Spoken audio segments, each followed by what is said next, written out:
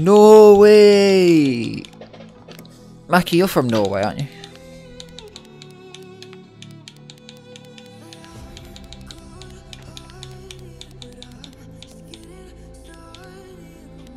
I heard you.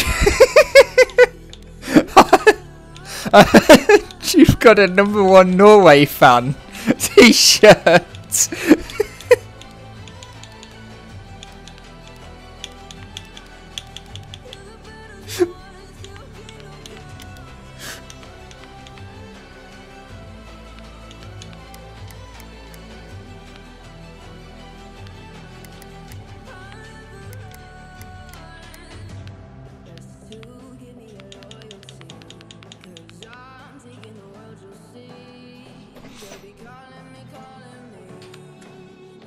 So I've got one, two, three, four.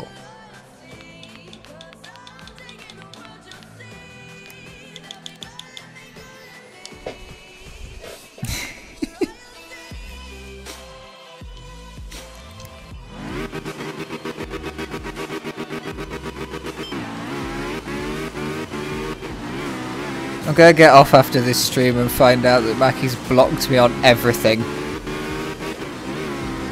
reported me to Twitch for every rule break under the sun.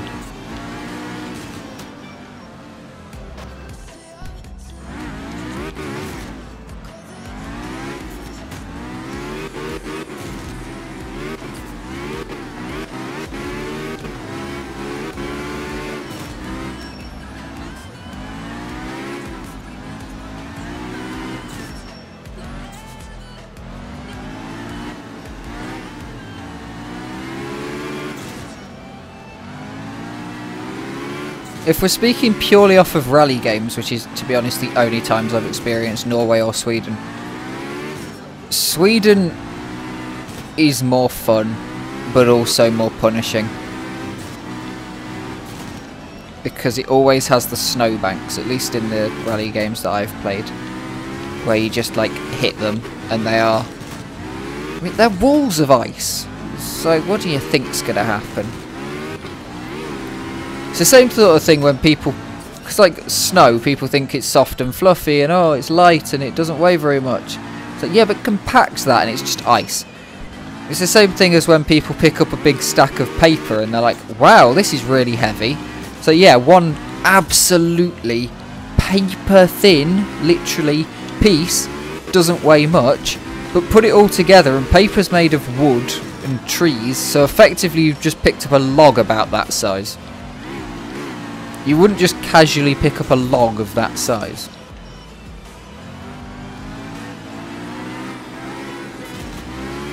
Look so far it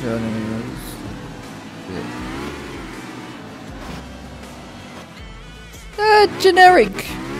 Generic high fantasy can be good sometimes especially like I, I there's a chance that I'd enjoy them because I haven't really been in anything high fantasy for ages all the games I've played, to be fair, actually, all the games I've played for the last few years have been racing games and uh, like real kind of games. All the stories I've, I've done, all of those sort of things are um, are either realistic or futuristic, or you know, technology, steampunk, that sort of stuff. So like generic high fantasy the last time I was in generic high fantasy was probably Warcraft.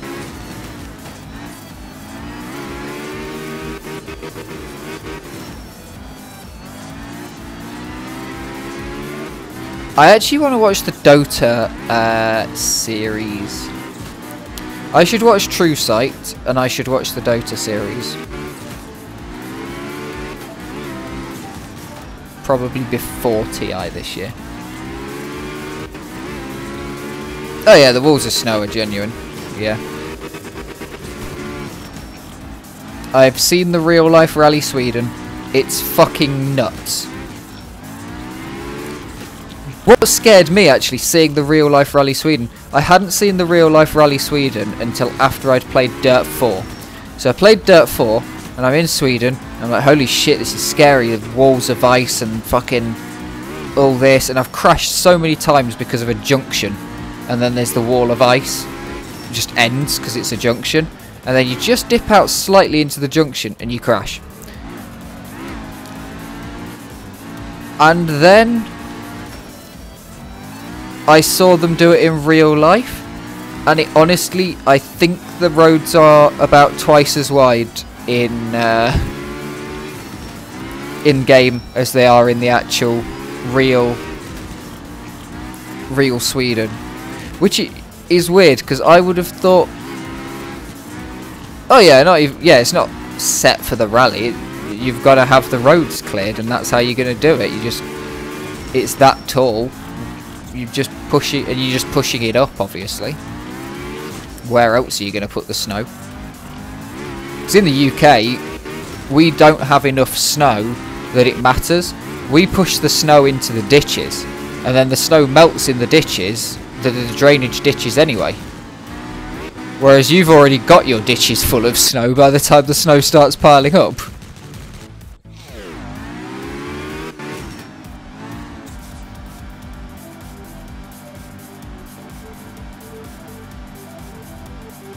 Yeah.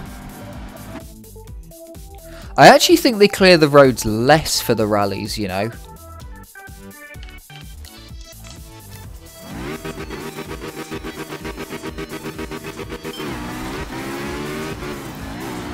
Because when I see the rallies, they tend to have, even if it's not been snowing, they tend to have like a good layer, which could, which is probably better for grip.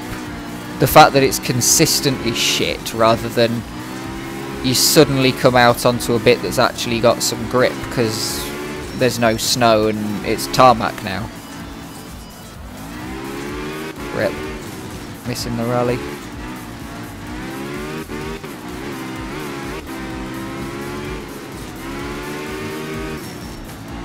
I need to go to more event things. Like, I'm sad that the uh, road race near me got cancelled this year. There's no Tour of Britain I can get to, or any other sort of cycling events that I can get to particularly.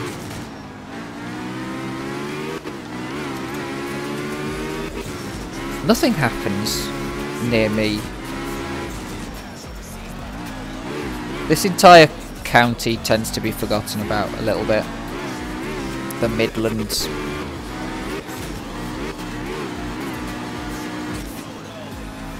Which sort of doesn't exist. And people always think that we're in the south as well because they forget that it's the Midlands of England and not the Midlands of the entirety of the UK. Because yes, we are South UK. Edinburgh is like Newcastle is South UK.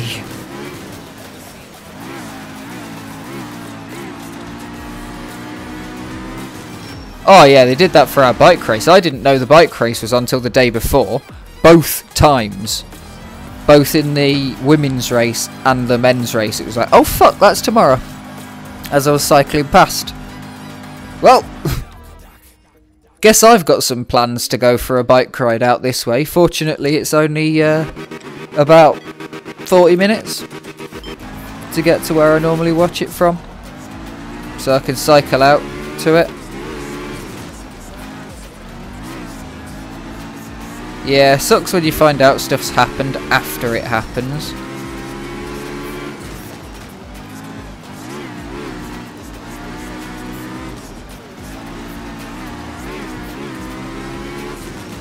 Or when you find out something went went really close to your house or happened really close to your house and you find out from a result sheet or a, an after party type thing.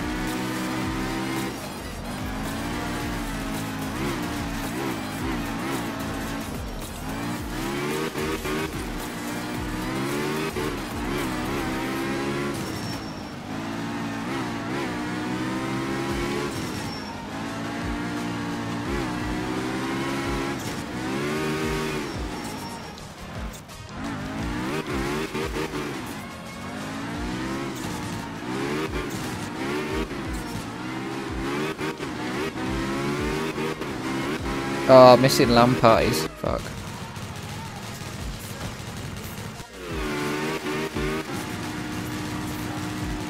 I wish there was anything going on around here, to be fair.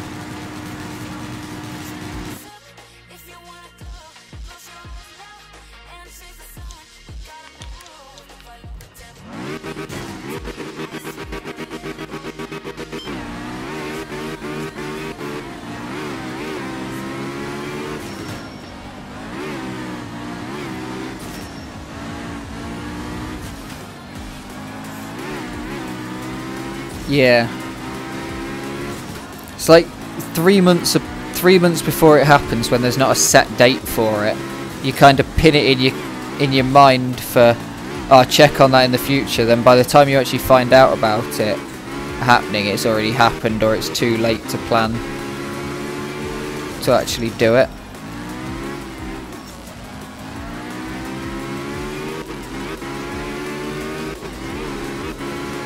There's also some things that just happen at awkward times during the day. Like there was a running race I wanted to go see the other day. But it started at 10 o'clock. 10 o'clock kickoff. And I woke up at 7 and was like ready to do stuff at 7. I just couldn't be asked to fuck around till till like half 9, 10. Go watch the running race and then go home. Yeah, bollocks to it.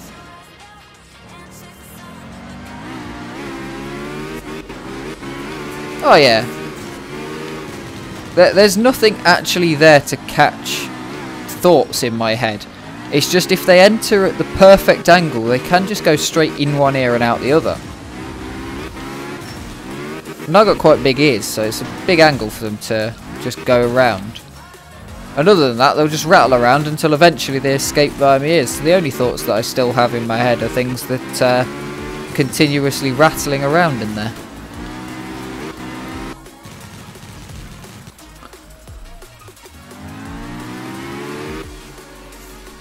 Perpetually trapped.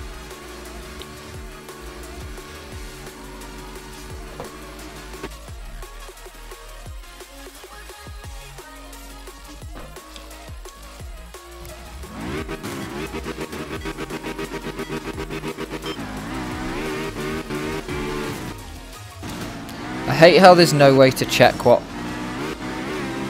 uh, weather you're on. I'm pretty sure that this is fog, not snow. But I for because I did double check that I had no snow.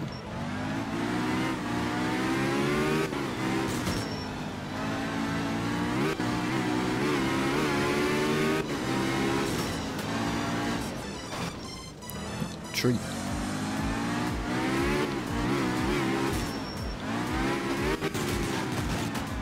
Balls.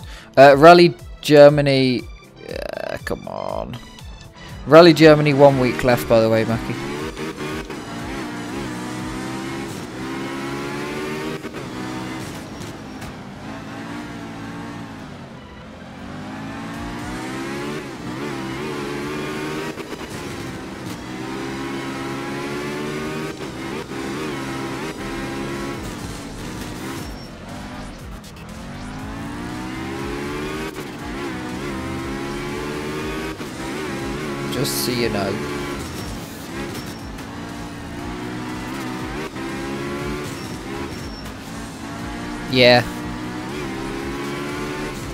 Nah, I've seen you been playing MG a lot. I will play it more at some point, maybe.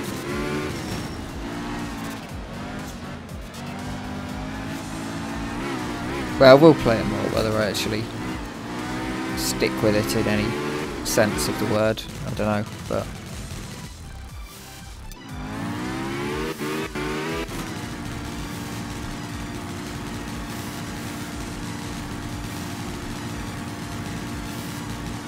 One of my problems at the minute with games like that is that I'm like ass at them. And I can't...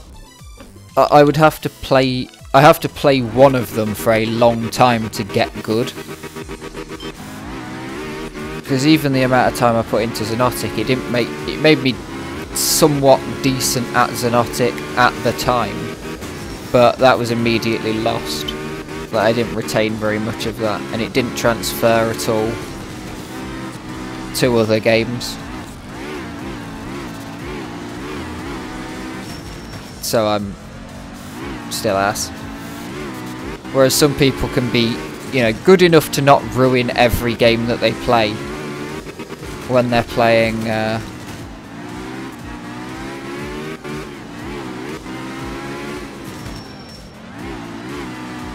when they're playing first-person shooters, they're not just ruining games. But I feel like if I added, it would just be an auto loss for whatever team I was on.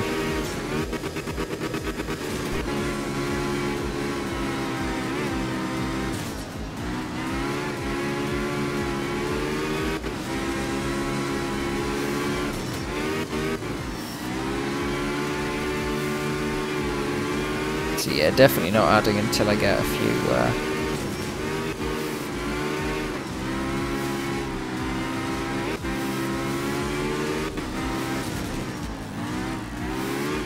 some sort of practice in and I can be confident that I will actually see my opponent if they're on my screen.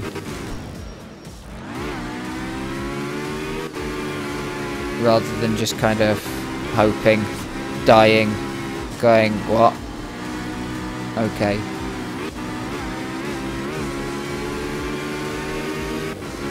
Because you know that feeling when you're up against a good sniper in something like TF2 and he blows your head off without you seeing him consistently? That's me all the time, no matter what, in Midnight Guns at the minute. And a little bit in um, other games, but... I don't know. I can see people in Unreal Tournament. I mean, they're bright blue, but... I might need to watch someone else's gameplay to check that... Because there was apparently... Linux has some missing texture problems. But I think I get away with it because I have all of the things required to compile the engine on my computer. so I can run the Linux one. Because I, I outright refuse to run the game through Wine, through System Wine. I just refuse to run the game through System Wine. And I don't want to run the game through Proton. It has a goddamn native Linux version. I will use it.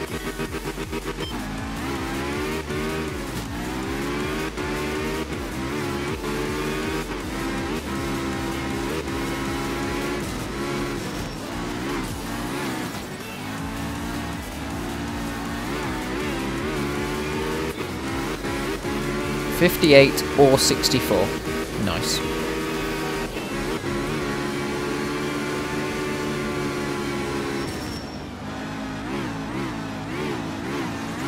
Didn't you only get the game in April though? Like it was mid-April when you actually got the game, wasn't it?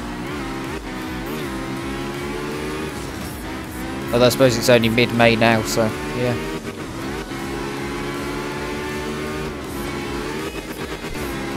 Cool that they're getting games regularly, like really, really is good. It's a good sign. Good sign. So at the very least, even if the game doesn't get like a, an active pub scene,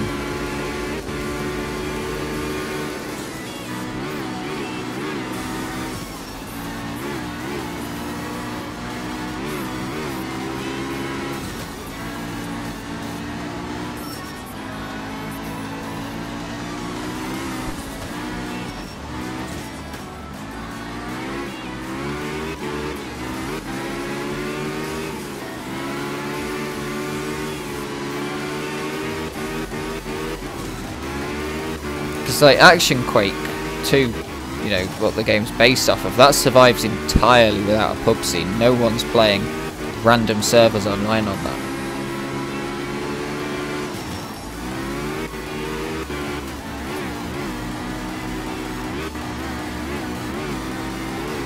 But every night, load of people join.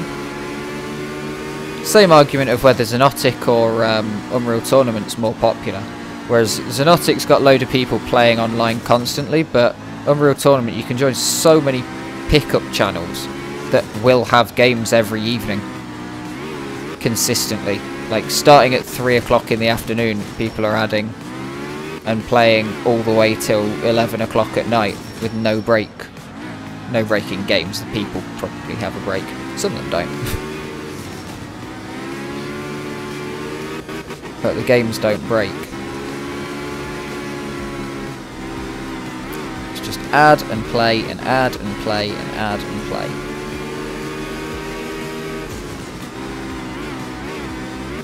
Yeah, it's pretty good. It's pretty good. Glad for it.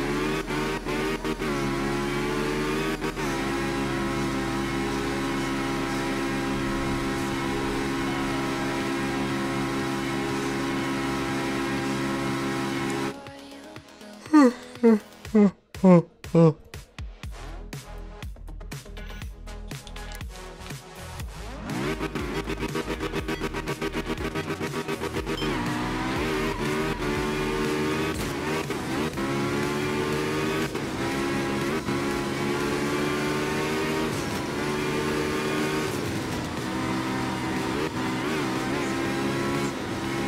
up at 5am to play pickups. I know, I've like woken up at like 5am and there's been a fucking ping while I'm trying to go back to sleep. And it's someone pinging supporters. That I do kind of wish they'd just get a pickups role at the same time. Because it is annoying having that be 50% of the pings I get.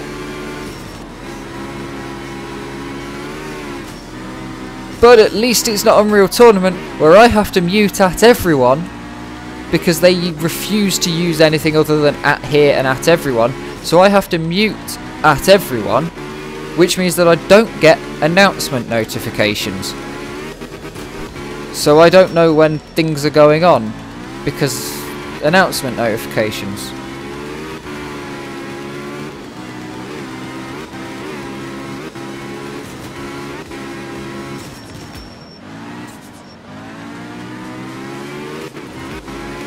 Yeah, because at playtesting, at supporters, it's like, mate, I'm literally not going to be playing. I I would not feel comfortable even if I knew how the game worked and could see and could guarantee that I could see I wouldn't feel comfortable adding at the minute the pickups because I just don't understand the game at all. I don't I don't want to ruin it for everyone like that.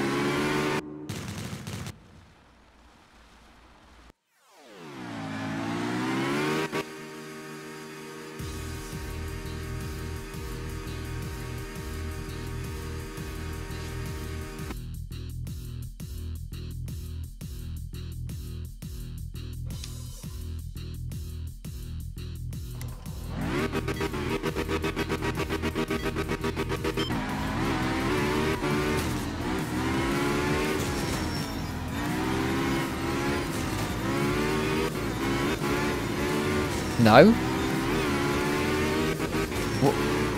What other servers do they think they would be hosted on?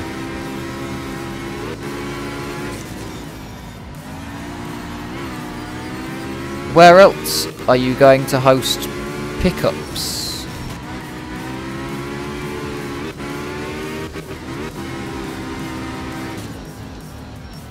Well, you got because you've pretty much got two options. Out of all of the games I've ever played that are like Midnight Guns, where it's community run servers, you either call the server a regular server and you run pickups on it, or you call it a pickup server and nobody cares as long as you get off if it's chosen to be the server used for a pickup.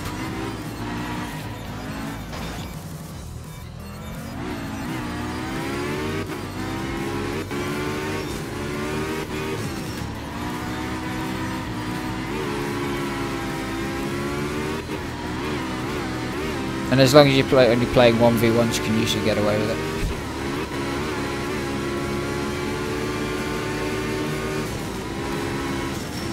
And to be fair, it's only ever been an issue in Unreal Tournament, and now they've got a system where the bot automatically picks the server, rather than players picking it, and the bot will only pick a server if it's empty. Like it won't pick a server if someone's fucking in it.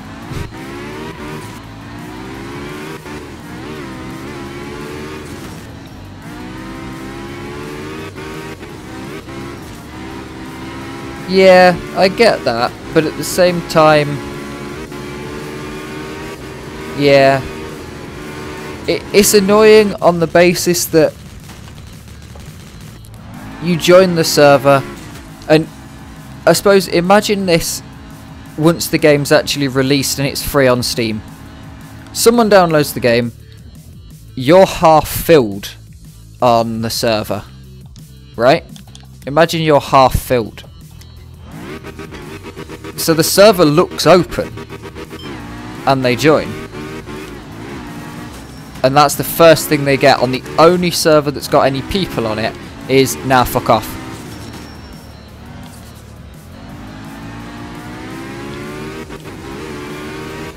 It is kind of shit, but it's kind of the only way to do it unless you can get the bot to private the server. So that's the only other way to do it, is to have the servers be public, but then once the server is chosen, you private the server.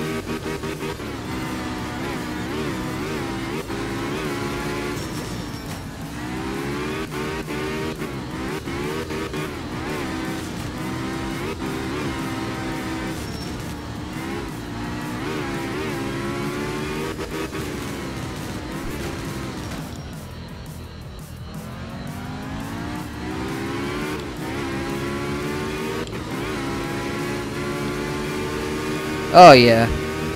To be fair, what you need to what needs to happen there is the ability to vote the game mode you're playing. Because that's how we get around it in Xonotic. Even if we're playing 3v3, you vote 3v3. And then if somebody joins, yes, if they're if you're still in warm up, you have to kick them out. But if somebody joins while you're actually mid game, they can't join mid-game and disrupt anything.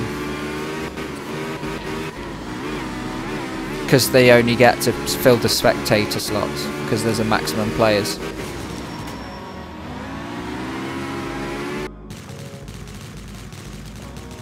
Like, can you imagine 1v1 and it doesn't have a player cap of 2? And you're just playing a 1v1 and all of a sudden some fucker joins. I've had it before, because I've forgotten to change a server from deathmatch, 8 player deathmatch, to uh, actual duel.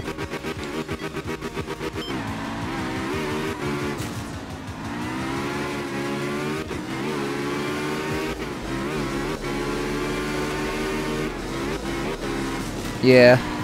Yeah, you just gotta use the team size functions in the game.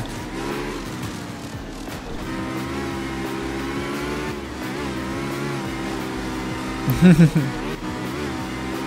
love Skylar. Great vid.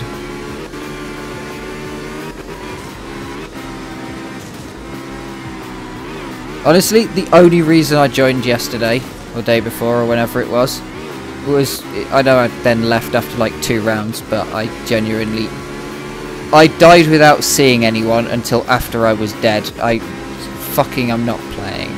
When just already feeling a bit crap. The only reason I joined was because Skylar messaged me. it was like, fuck it, okay. Guess I have to then.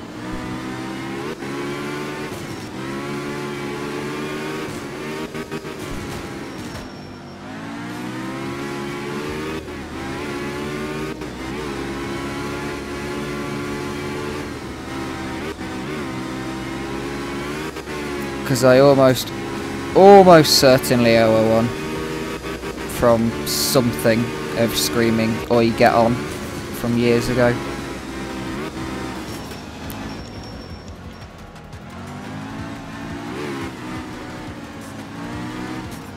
Yeah, don't think too much into that. Just, just don't, don't, don't think about it at all think about it. Never happened. Easier to just pretend it never happened. Ah, oh, fuck. Alright.